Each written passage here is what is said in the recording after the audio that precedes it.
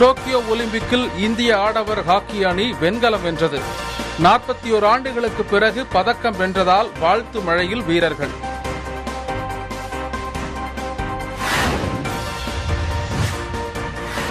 Corona பரவலை தடுக்கும் விதமாக திருப்பூரில் இன்று முதல் புதிய கட்டுப்பாடுகள் அமல். நாகை மாவட்டத்தில் வார இறுதி நாட்களில் மத வழிபாட்டு தலங்களுக்கு பொதுமக்கள் செல்ல தடை.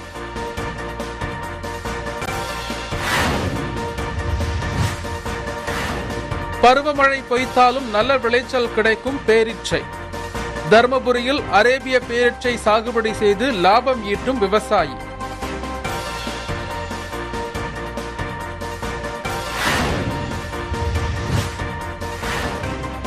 கழிவுகளை ஆற்றின் பள்ளத்தில் தள்ளி மூடும் கடலூர் நகராட்சி நிர்வாகம். ஆற்றில் குப்பைகள் கொட்டப்படுவது குறித்து செய்தி வெளியானதால் மூடி மறைக்க நகராட்சி நிர்வாகம் முயற்சி.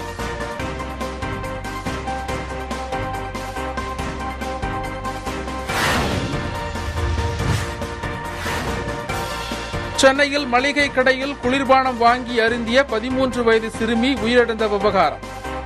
குளிர்பான தொழிற்சாலையை தற்காலிகமாக மூடி உணவு பாதுகாப்புத்துறை நடவடிக்கை.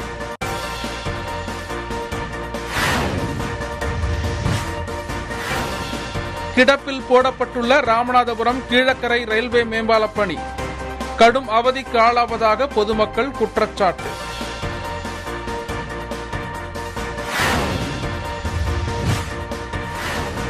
அருப்புக்கோட்டை தெற்காறு படுகையில் சட்டவிரோதமாக மணல் அள்ளும் கும்பல். மணல் அள்ள பயன்படுத்திய டிராக்டர் ஜேசிபி வாகனங்கள் பறிமுதல்.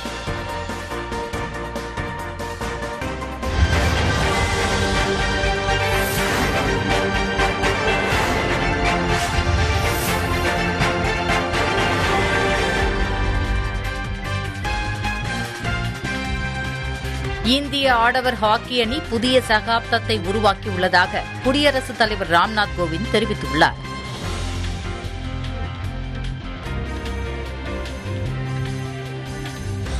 இந்திய ஹாக்கி அணி வரலாறு படைத்துள்ளதாக அணியின் கேப்டன் மன்பிரீத்திடம் பிரதமர் மோடி வாழ்த்துக்கள் தெரிவித்துள்ளார்.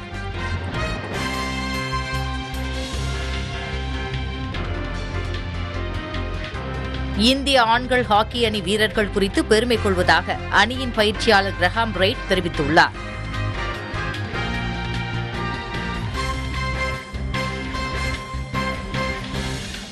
மக்கள் வரிப்பணத்தில் போடும் சாலையை பயன்படுத்தும் போது வரியை செலுத்த வேண்டியதுதானே என்று நடிகர் தனுஷ் தரப்பிடம் சென்னை உயர்நீதிமன்றம் தெரிவித்துள்ளது.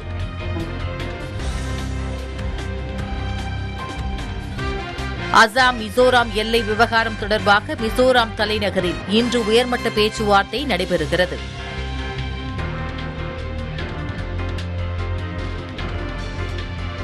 நீட் தேர்வுக்கு விண்ணப்பிப்பதற்கான அவகாசம் ஆகஸ்ட் பத்து வரை நீட்டிக்கப்பட்டுள்ளது.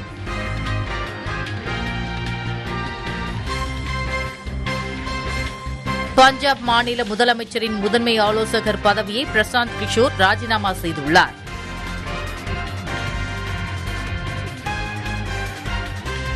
இந்தியாவில் நேற்று ஒரே நாளில் நாற்பத்தி இரண்டாயிரத்து தொள்ளாயிரத்து எண்பத்தி இரண்டு பேருக்கு கொரோனா தொற்று உறுதி செய்யப்பட்டுள்ளதாகவும் ஐநூற்று முப்பத்து மூன்று பேர் உயிரிழந்ததாகவும் சுகாதாரத்துறை தகவல் வெளியிட்டுள்ளது.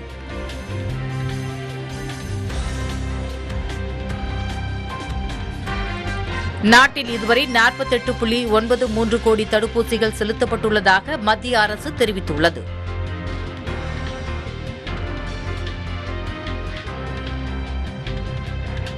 சீனாவுடனான மோதல் போக்கை அதிகரிக்கும் விதமாக தைவான் நாட்டுக்கு எழுநூற்று ஐம்பது மில்லியன் டாலர் மதிப்புள்ள போர்க்கருவிகளை விற்பனை செய்ய அமெரிக்கா திட்டமிட்டுள்ளது.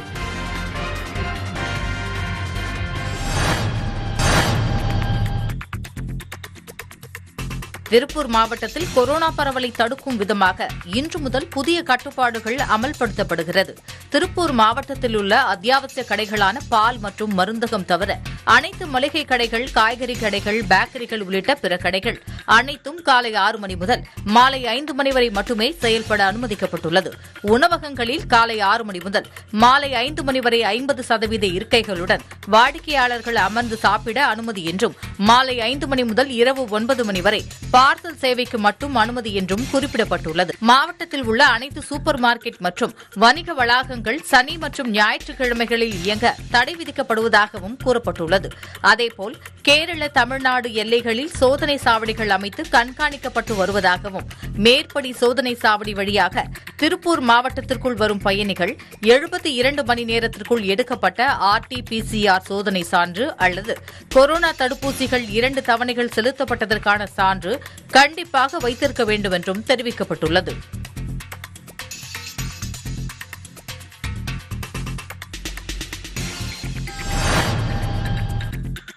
தருமபுரியில் அரேபிய பேரீட்சை சாகுபடி செய்து லாபம் ஈட்ட முடியும் என தெரிவிக்கிறார் விவசாயி நிஜாமுதீன்.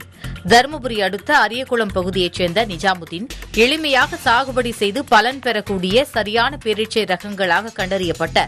ஃபர்ரி அஜுவா கனிஜி அலூவி மெட்சூல் இலைட் ஆகியவற்றை தேர்வு செய்து தனது நிலத்தில் சாகுபடி செய்து வருகிறார். வறட்சியையும் தாங்கி வளரக்கூடியது என்பதால் குறைந்த அளவு தண்ணீரில் இயற்கை உரங்களை பயன்படுத்தி பேரிச்சை சாகுபடியை தொடர்ந்து வெற்றிகரமாக செய்து வருமானம் ஈட்டி வருகிறார். இந்த ஆண்டுக்கான பருவமழை குறைந்திருந்தாலும் பேரீச்சை சாகுபடியில் நல்ல விளைச்சல் எடுத்துள்ளார்.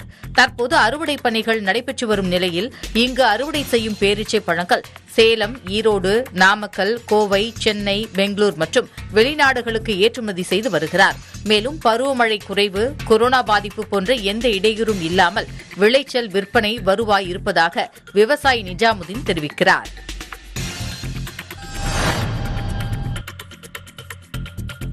நாகப்பட்டினம் மாவட்டத்தில் உள்ள அனைத்து மத வழிபாட்டு தலங்களிலும் வெள்ளி சனி ஞாயிற்றுக்கிழமைகளில் பொதுமக்கள் தரிசனம் செய்ய தடை விதிக்கப்படுவதாக அம்மாவட்ட ஆட்சியர் தெரிவித்துள்ளார்.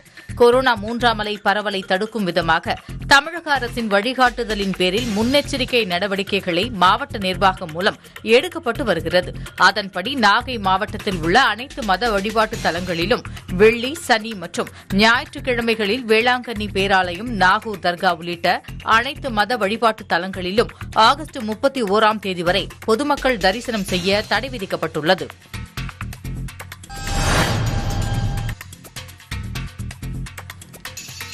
கடலூர் ஆற்றில் கழிவுகள் கொட்டப்படுவது குறித்து செய்தி வெளியிடப்பட்ட நிலையில் கழிவுகளை ஆற்றின் பள்ளத்தில் கொட்டி அதை சாமர்த்தியமாக மூடி செல்கிறது நகராட்சி நிர்வாகம்.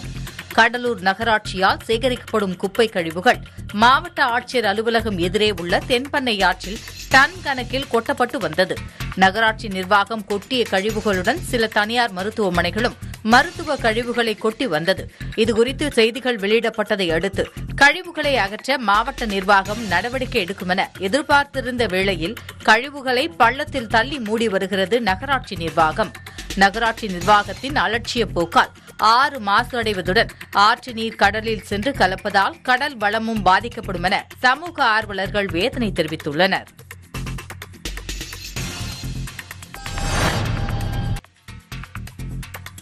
சென்னையில் மளிகை கடையில் குளிர்பானம் வாங்கி அருந்திய பதிமூன்று வயது சிறுமி உயிரிழந்ததாக எழுந்த புகாரை அடுத்து சம்பந்தப்பட்ட குளிர்பான தொழிற்சாலை தற்காலிகமாக மூடி உணவு பாதுகாப்புத்துறை நடவடிக்கை மேற்கொண்டுள்ளது. சென்னை பெசன் நகரைச் சேர்ந்த சதீஷ் காயத்ரி தம்பதியின் இளைய மகள் தரணி மளிகை கடையில் குளிர்பானம் வாங்கி அருந்தியுள்ளார். சில மணித்துளிகளில் சிறுமி வாந்தி எடுத்ததாகவும் மூக்கிலிருந்து ரத்தம் கலந்து சளி வந்ததை அடுத்து சிறுமி மயக்கமாகியுள்ளார். அருகிலுள்ள மருத்துவமனைக்கு அழைத்து சென்று பரிசோதித்த போது ஏற்கனவே சிறுமி தரணி உயிரிழந்ததாக தெரியவந்ததை அடுத்து சம்பவ இடத்திற்கு வந்த காவல்துறையினர் உடலை கைப்பற்றி உடற்கூறு ஆய்வுக்காக ராயப்பேட்டை அரசு பொது மருத்துவமனைக்கு அனுப்பி வைத்தனர். சிறுமி அருந்துவிட்டு மீதம் வைத்த குளிர்பானத்தை கைப்பற்றி ஆய்வுக்காக அனுப்பி வைக்கப்பட்டுள்ள நிலையில் திருவள்ளூர் மாவட்டத்தில் குளிர்பான நிறுவனத்தில் ஆய்வு மேற்கொள்ளப்பட்டது. இதனை அடுத்து சிறுமி அருந்திய குளிர்பான மாதிரியின் ஆய்வு முடிவுகள் வரும் வரை குளிர்பான ஆலையை தற்காலிகமாக மூட உணவு பாதுகாப்புத்துறை உத்தரவிட்டுள்ளது. அருப்புக்கோட்டை அருகே காரியாப்பட்டி தெற்காறு படுகையில் சட்டவிரோதமாக மணல் கடத்தலுக்கு பயன்படுத்திய வாகனங்கள் பறிமுதல் செய்யப்பட்டுள்ளன. விருதுநகர் மாவட்டம் அருப்புக்கோட்டை அருகே காரியாப்பட்டி மற்றும் சுற்றுவட்டார பகுதி தெற்காறு படுகையில் இரவு நேரங்களிலும் ஆள் நடமாட்டம் இல்லாத பகல் நேரங்களிலும் ஆற்று மணல் அள்ளப்பட்டு வருவதாக புகார்கள் வந்த வண்ணம் இருந்தன. புகாரின் பேரில் தீவிர ரோந்து பணியில் ஈடுபட்ட போலீசார் புல்லூர் தெற்காறு பகுதிகளில் சட்டவிரோதமாக மணல் அள்ளியது தெரியவந்தது. மணல் கடத்தலில் ஈடுபட்ட மேற்பட்டவர்கள் தப்பி ஓடியதை அடுத்து கடத்தலுக்கு பயன்படுத்திய ஜேசிபி டிராக்டர் வாகனங்கள் பறிமுதல் செய்யப்பட்டுள்ளன. இது தொடர்பாக இருவரை கைது செய்த காவல்துறை மேலும் மூன்று பேரை தேடி வருகின்றனர்.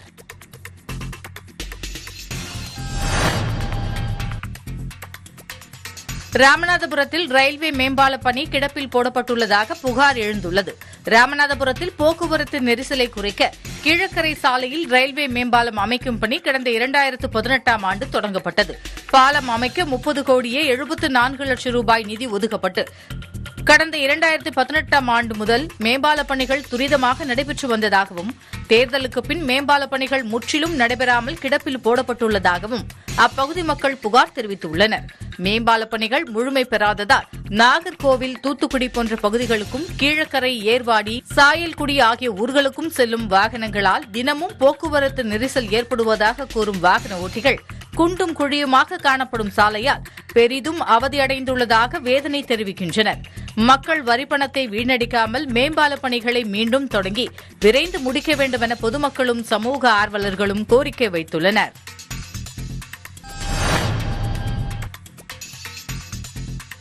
காவிரி ஆற்றில் தொடர்ந்து பத்து நாட்களாக சரிந்து வரும் நீர்வரத்தால் தமிழக எல்லையான பிலிகுண்டுலுவுக்கு வினாடிக்கு ஏழாயிரம் கனஅடியிலிருந்து ஐந்தாயிரம் கனஅடியாக நீர்வரத்து குறைந்துள்ளது. காவிரி நீர்பிடிப்பு பகுதியில் பெய்து வந்த மழை குறைந்ததால் கர்நாடக அணைகளுக்கு வரும் நீர்வரத்து குறைந்துள்ளது. இதனால் காவிரி ஆற்றில் திறக்கப்படும் நீரின் அளவு படிப்படியாக குறைக்கப்பட்டது. இந்நிலையில் இன்று காலை நிலவரப்படி ஏழாயிரம் கனஅடியாக இருந்த நீர்வரத்து குறைந்து வினாடிக்கு ஐந்தாயிரம் கனஅடியாக சரிந்து உள்ளது. நீர்வரத்து குறைந்தாலும் ஒகேனிக்கலில் ஐந்தருவி மெயினருவி உள்ளிட்ட இடங்களில் தண்ணீர் ஆர்ப்பரித்து கொட்டி பார்ப்பதற்கு ரம்யமாக காட்சியளிக்கிறது. மேலும் நீர்த்திறப்பு குறைக்கப்பட்டுள்ளதால் மீண்டும் நீர்வரத்து குறையும் என மத்திய நீர்வள ஆணைய அலுவலர்கள் தெரிவித்துள்ளனர்.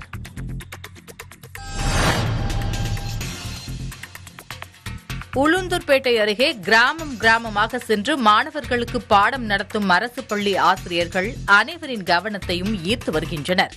கள்ளக்குறிச்சி மாவட்டம் உளுந்தூர்பேட்டை அருகே கெடிலம் பகுதியில் உள்ளது திருநாவலூர் அரசினர் மேல்நிலைப் பள்ளி. இப்பள்ளியில் ஆறாம் வகுப்பு முதல் பனிரெண்டாம் வகுப்பு வரை சுமார் ஆயிரத்து இருநூறுக்கும் மேற்பட்ட மாணவ மாணவிகள் கல்வி பயின்று வருகின்றனர். கொரோனா தொற்று காரணமாக பள்ளிகள் மூடப்பட்டு ஆன்லைன் மூலம் வகுப்புகள் நடத்தப்பட்டு வரும் நிலையில் அதில் ஆர்வம் காட்டாததால் மாணவர்களின் எதிர்காலம் பாதிக்கப்பட்டு வருவதை ஆசிரியர்கள் புரிந்து கொண்டனர். எனவே மாணவர்களின் எதிர்காலத்தை கருத்தில் கொண்டு திருநாவலூர் அரசினர் மேல்நிலைப்பள்ளி ஆசிரியர்கள் மாணவர்களின் கிராமங்களுக்கே சென்று பாடங்களை கற்பித்து வருகின்றனர். தங்கள் ஊரிலேயே வந்து ஆசிரியர்கள் பாடம் நடத்துவதால் மாணவர்கள் ஆர்வத்துடன் கல்வியை கற்றுக்கொள்கின்றனர். ஆசிரியர்களின் இந்த செயலை கண்டு சமூக ஆர்வலர்களும் பொதுமக்களும் வெகுவாக பாராட்டி வருகின்றனர்.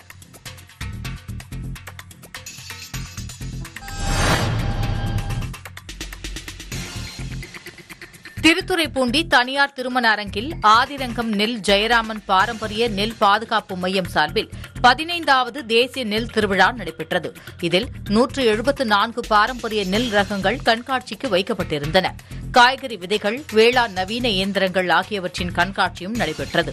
இந்த திருவிழாவில் காலை உணவாக கேழ்வரகு கூழ் மாப்பிளை சம்பா கஞ்சி வழங்கப்படுகிறது. மதிய உணவு கருப்பு கவுனியில் செய்யப்பட்ட சர்க்கரை பொங்கல் கிச்சிலி சம்பா அரிசியில் செய்யப்பட்ட சாம்பார் சாதம் மாப்பிளை சம்பா அரிசியில் தயார் செய்த தயிர் சாதம் வழங்கப்பட்டது.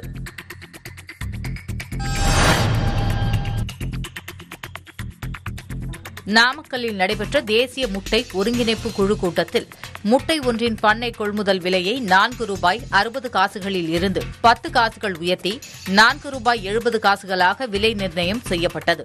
கோழி தீவன விலை ஏற்றத்தால் உற்பத்தி செலவு அதிகரித்து வருவதாலும் தமிழகம் கேரளாவில் முட்டை விற்பனை சற்று அதிகரித்து தேவையும் அதிகரித்துக் கொண்டே வருவதாலும் விலை உயர்த்தப்படுவதாக கோழி பண்ணையாளர்கள் தெரிவித்துள்ளனர். வரும் நாட்களில் விலை மேலும் உயர்வதற்கான வாய்ப்புகளே உள்ளதாக கோழி பண்ணையாளர்கள் தெரிவித்துள்ளனர்.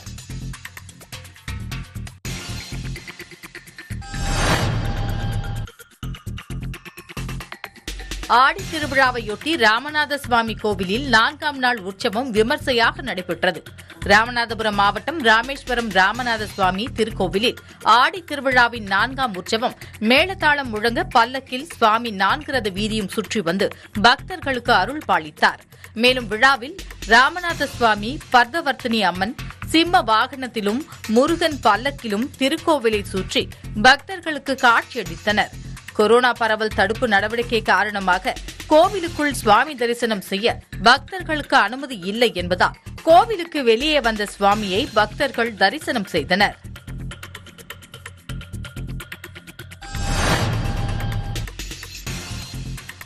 சேலம் மாவட்டம் ஓமலூர் பகுதிகளில் மேட்டு நிலங்களில் மானாவாரியாக ராகி பருத்தி கம்பு சோளம் உளுந்து மொச்சை அவரை காராமணி துவரை பச்சை பயிறு ஆகியவற்றை சாகுபடி செய்வதற்காக விதைகளை தனியார் கடைகளில் விவசாயிகள் வாங்கி வருகின்றனர்.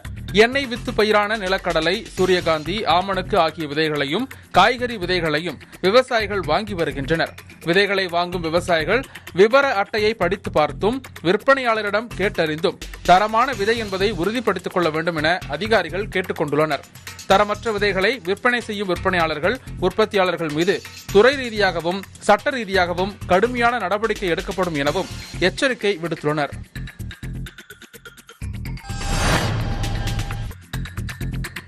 மக்களை தேடி மருத்துவம் என்ற திட்டத்தை தமிழக முதலமைச்சர் ஸ்டாலின் கிருஷ்ணகிரி மாவட்டத்தில் தொடங்கி வைத்தார். இதனைத் தொடர்ந்து மக்களை தேடி மருத்துவம் திட்டத்தை சென்னை சேலம் கோவை மதுரை உள்ளிட்ட ஏழு மாவட்டங்களில் முதலமைச்சர் காணொலி மூலம் தொடங்கி வைத்தார்.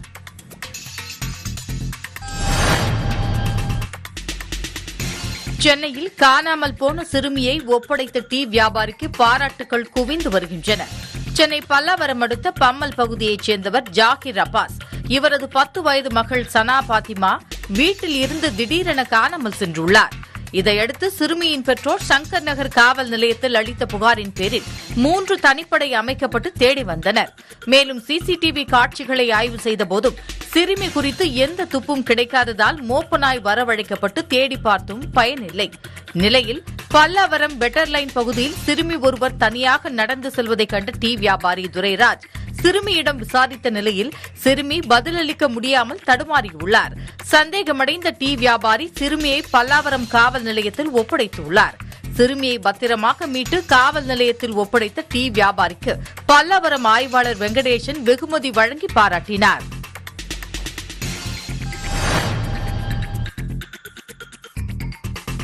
சத்தியமங்கலம் அருகே குட்டிகளுடன் தேசிய நெடுஞ்சாலையை கடந்து சென்ற காட்டு யானை கூட்டங்களால் வாகன ஓட்டிகள் அச்சமடைந்துள்ளனர். ஈரோடு மாவட்டம் சத்தியமங்கலம் தேசிய நெடுஞ்சாலை புலிகள் காப்பக வனப்பகுதியில் ஏராளமான காட்டு யானைகள் வசித்து வருகின்றன. இப்பகுதியில் தமிழகம் கர்நாடக மாநிலத்தை இணைக்கும் சத்தியமங்கலம் மைசூர் தேசிய நெடுஞ்சாலை அமைந்துள்ளதால் இருபத்தி நான்கு மணி நேரமும் வாகன போக்குவரத்து நடைபெற்று வருகிறது. இந்நிலையில் ஆசனூர் வனப்பகுதியில் இருந்து வெளியேறிய காட்டு யானைகள் சத்தியமங்கலம் மைசூர் தேசிய நெடுஞ்சாலையை தங்களது குட்டிகளுடன் மெதுவாக கடந்து சென்றன. காட்டு யானைகளை கண்டதும் வாகன ஓட்டிகள் அச்சமடைந்து வாகனங்களை சாலையில் நிறுத்தினர். சாலையை கடந்து சென்ற காட்டு யானைகள் சாலையோரம் முகாமிட்டபடி தீவனம் உட்கொண்ட பின்னர் சிறிது நேரம் சாலையோரம் சுற்றித் திரிந்த பிறகு வனப்பகுதிக்குள் சென்றன. இதைத் தொடர்ந்து வாகனங்கள் புறப்பட்டு சென்றன.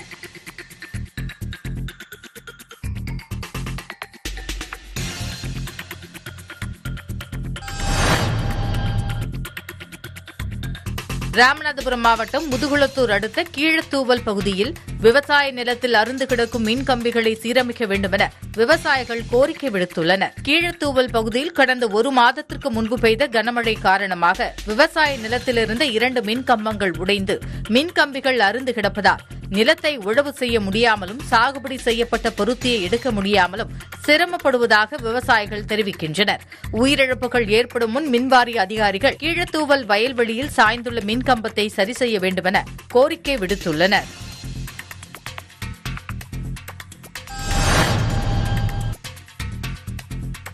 குடிநீர் குழாயில் கழிவுநீர் கலந்து வருவதாக கூறி ராமநாதபுரம் மாவட்டம் ஆர் எஸ் மங்கலம் பேரூராட்சி அலுவலகத்தை முற்றுகையிட்டு அப்பகுதி மக்கள் போராட்டம் நடத்தினர். பேரூராட்சி நிர்வாகம் அடிப்படை வசதிகளை செய்து தருவதில் அலட்சிய போக்குடன் செயல்படுவதாக புகார் தெரிவித்து நூறுக்கும் மேற்பட்ட பெண்கள் பேரூராட்சி அலுவலகத்தில் குடியேறி தர்ணா போராட்டத்தில் ஈடுபட்டனர். சம்பவம் குறித்து தகவல் அறிந்து வந்த வட்டாட்சியர் மற்றும் அதிகாரிகள் பொதுமக்களிடம் பேச்சுவார்த்தை நடத்தி கூடிய விரைவில் குடிநீர் குழாயை சரி செய்து தருவதாக வாக்குறுதி அளித்ததைத் தொடர்ந்து மக்கள் கலைந்து சென்றனர்.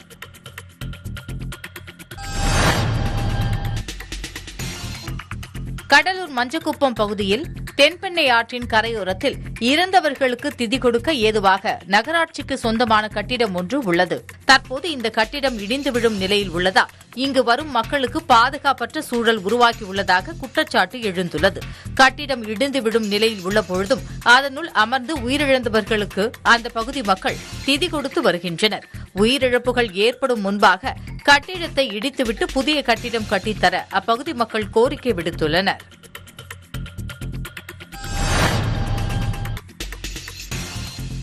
தூத்துக்குடி புனித பனிமய மாதா ஆலயத்தின் ஆண்டு பெருவிழா கடந்த இருபத்தாறாம் தேதி கொடியேற்றத்துடன் தொடங்கி இன்று வரை பத்து நாட்கள் நடைபெறுகிறது. பனிமய மாதா பேராலயத்தின் நானூற்று முப்பத்து ஒன்பதாம் ஆண்டு பெருவிழா. இந்த ஆண்டும் பக்தர்கள் பங்கேற்பின்றி கொண்டாடப்பட்டது.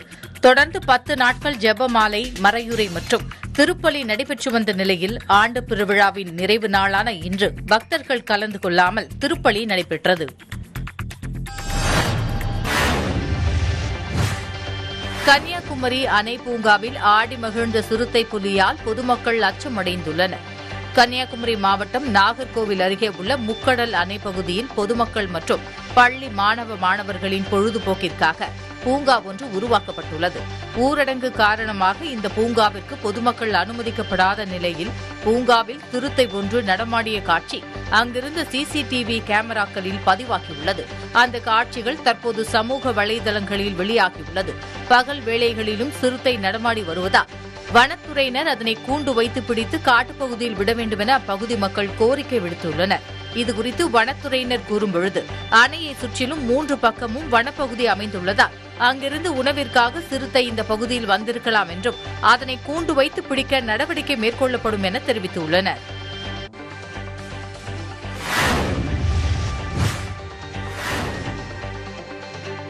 கொரோனா கட்டுப்பாடுகளால் மாநில எல்லையான மூணாறு சாலையில் பாச உணர்வுகள் பகிரப்பட்டு வருகின்றன. திருப்பூர் மாவட்டம் உடுமலை அருகே மூணாறு சாலை சின்னாறு சோதனை சாவடியில் கொரோனா கட்டுப்பாடுகளால் உறவினர்களை காண முடியாமல் பல மாதங்களாக தவித்து வந்தவர்கள் எல்லைப் பகுதியில் சந்தித்து பாசங்களை பரிமாறிக்கொள்கின்றனர். இ பதிவு நடைமுறையில் இருப்பதாலும் கட்டுப்பாடுகளில் கெடுபிடிகள் அதிகமாக்கப்பட்டதாலும் மாநிலம் தாண்டி செல்ல முடியாத சூழலில் வேறு வழியின்றி இரு மாநில எல்லைப் பகுதியில் ஒருவரை ஒருவர் சந்திக்கும் நிகழ்வு தினம்தோறும் அரங்கேறி வருகிறது. மேலும் இரு மாநில மக்கள் எல்லைப் பகுதியில் சந்தித்து குழந்தைகளுடன் கொஞ்சி விளையாடி புகைப்படம் எடுத்து தங்களது மகிழ்ச்சியை வெளிப்படுத்திக் கொண்டனர். இந்த நிகழ்வு காண்போரை நிகழ்ச்சியில் ஆழ்த்தியது.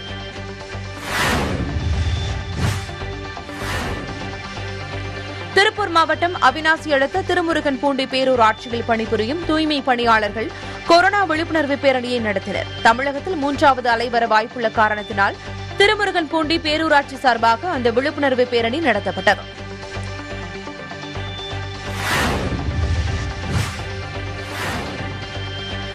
கடலூர் மஞ்சக்குப்பத்தில் செயல்படும் மூன்று துணிக்கடையில் வேலை செய்த ஊழியர்களுக்கு கொரோனா உறுதி செய்யப்பட்டதால் அந்த மூன்று கடைகளிலும் நகராட்சி அதிகாரிகள் வருவாய்த்துறை அதிகாரிகள் சென்று கடையில் இருந்த ஊழியர்களையும் வாடிக்கையாளர்களையும் வெளியேற்றி கடையை மூடினர்.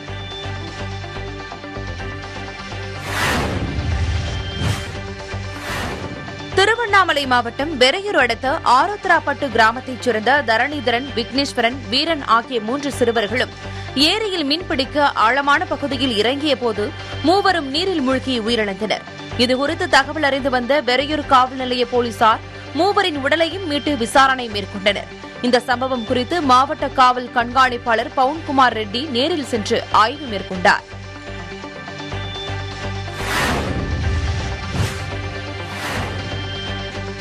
தூத்துக்குடி தூய பனிமய மாதா பேராலய பெருவிழா கடந்த இருபத்தி ஆறாம் தேதி கொடியேற்றத்துடன் தொடங்கி நடைபெற்று வருகிறது.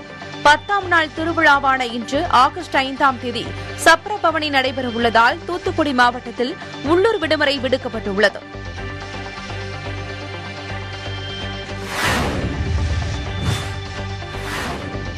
மக்கள் நடமாட்டம் மிகுந்த ராமநாதபுரம் மாவட்டம் பரமக்குடி கிரி அம்பலம் நாராயணன் தெருவில் வாசலில் நின்று கொண்டிருந்த பெண்ணின் தங்கச் செயினை இருசக்கர வாகனத்தில் வந்த இளைஞர்கள் பறித்து சென்ற காட்சி சிசிடிவியில் பதிவாகியது. இந்த காட்சியின் அடிப்படையில் பரமக்குடி நகர காவல்துறையினர் தொடர்ந்து வழிப்பறி மற்றும் நகை பறிப்பில் ஈடுபட்டு வரும் கொள்ளையர்களை தேடி வந்த நிலையில் கொம்படி மதுரையைச் சேர்ந்த மனோஜ் பெருமஞ்சேரியைச் சேர்ந்த மணிகண்டன் ஆகிய இருவரையும் கைது செய்துள்ளனா்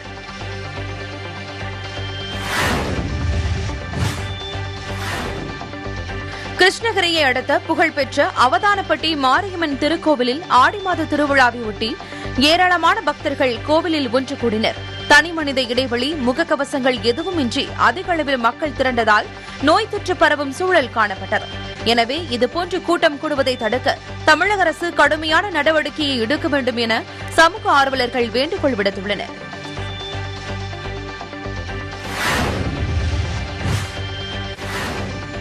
தேனி மாவட்டம் அல்லி நகரைச் சேர்ந்த முனுசாமி என்ற முதியவர். கடந்த இரண்டாயிரத்தி பத்தொன்பதாம் ஆண்டு அப்பகுதியைச் சேர்ந்த ஒரு குழந்தைக்கு பாலியல் தொந்தரவு கொடுத்ததாக புகார் கொடுக்கப்பட்டது. இந்த புகார் வழக்கு தொடர்பான இறுதி விசாரணை தேனி மாவட்ட மகிழா நீதிமன்றத்தில் நடைபெற்றது. விசாரணையில் குற்றம் நிரூபிக்கப்பட்டதால் முனுசாமிக்கு அபராத தொகையுடன் பத்து ஆண்டுகள் சிறை தண்டனை விதித்து மகிழா நீதிமன்றம் தீர்ப்பு வழங்கியது.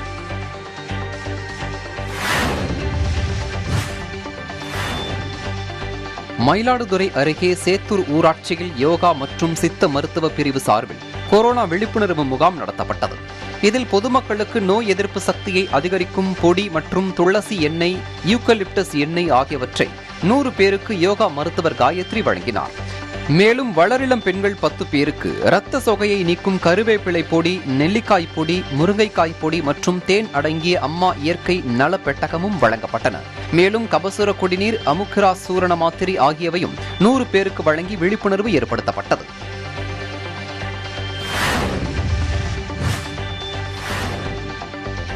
கடலூர் மாவட்டம் விருத்தாச்சலம் அடுத்த ராசாபாளையம் பகுதியில் காலாவதியான பர்மிட்டை பயன்படுத்தி செம்மன் கொள்ளையில் ஈடுபட்டவர்களை கைது செய்து அவர்களிடமிருந்து மூன்று லாரிகளை காவல்துறையினர் பறிமுதல் செய்தனர்.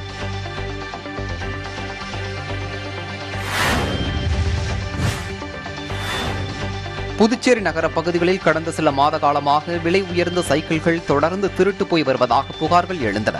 இதையடுத்து போலீசார் நடத்திய கண்காணிப்பில் வேலூர் பகுதியைச் சேர்ந்த கணேசன் என்பவர் பிடிபட்டுள்ளார். அவரிடம் போலீசார் தொடர்ந்து விசாரணை மேற்கொண்டு வருகின்றனர்.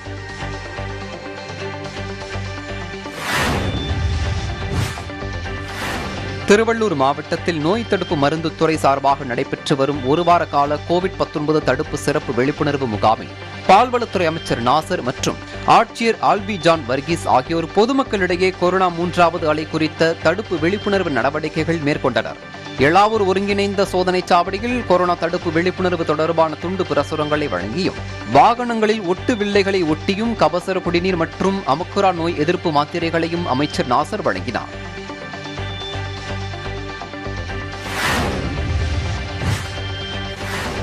ஈரோடு மாவட்டம் சத்தியமங்கலம் அருகே புஞ்சை புளியம்பட்டி பேருந்து நிலையம் பகுதியில் மது போதையில் கணவன் மனைவி சண்டையிட்டு ஒருவருக்கொருவர் தாக்கிக் கொள்ளும் வீடியோ காட்சி சமூக வலைதளங்களில் வைரலாக பரவி வருகிறது.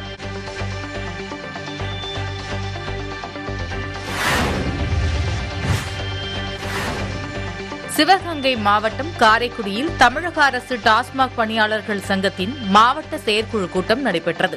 இக்கூட்டத்தில் தமிழக அரசு வருகின்ற பட்ஜெட் கூட்டத்தில் டாஸ்மாக் பணியாளர்களுக்கு பணி நிரந்தரம் செய்ய வேண்டும் என்றும் வாரிசு வேலை மாற்றுப்பணி நிர்வாக புனரமைப்பு பணி நிரவல் முறை வேண்டும் என்பது உள்ளிட்ட கோரிக்கைகளை வலியுறுத்தி தீர்மானம் நிறைவேற்றப்பட்டது.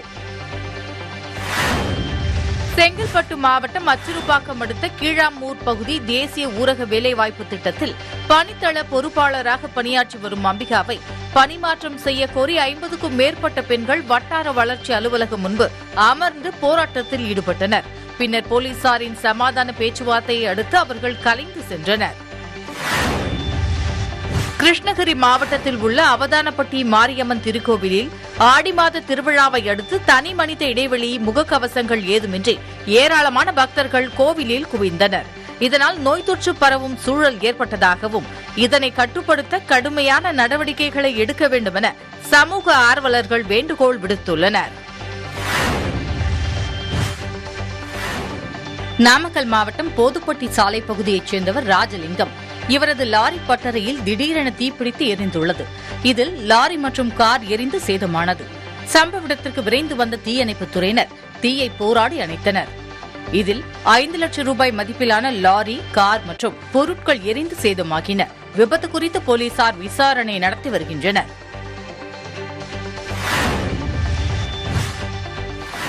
புதுக்கோட்டை மாவட்டம் திருமயத்தில் செல்போனில் ஆபாசமாக படம் பார்க்கும் நபர்களின் செல்போன் நம்பரை ஹேக்கிங் செய்து அவர்களிடம் சைபர் கிரைம் போலீசார் போல் பேசி பண மோசடியில் ஈடுபட்ட கிருஷ்ணகிரி மாவட்டத்தைச் சேர்ந்த கணேசன் மற்றும் அவரது உறவினர் பிரகாஷ் ஆகியோரை புதுக்கோட்டை மாவட்ட சைபர் கிரைம் போலீசார் தகவல் தொழில்நுட்ப சட்டத்தின் கீழ் கைது செய்து சிறையில் அடைத்தனர்.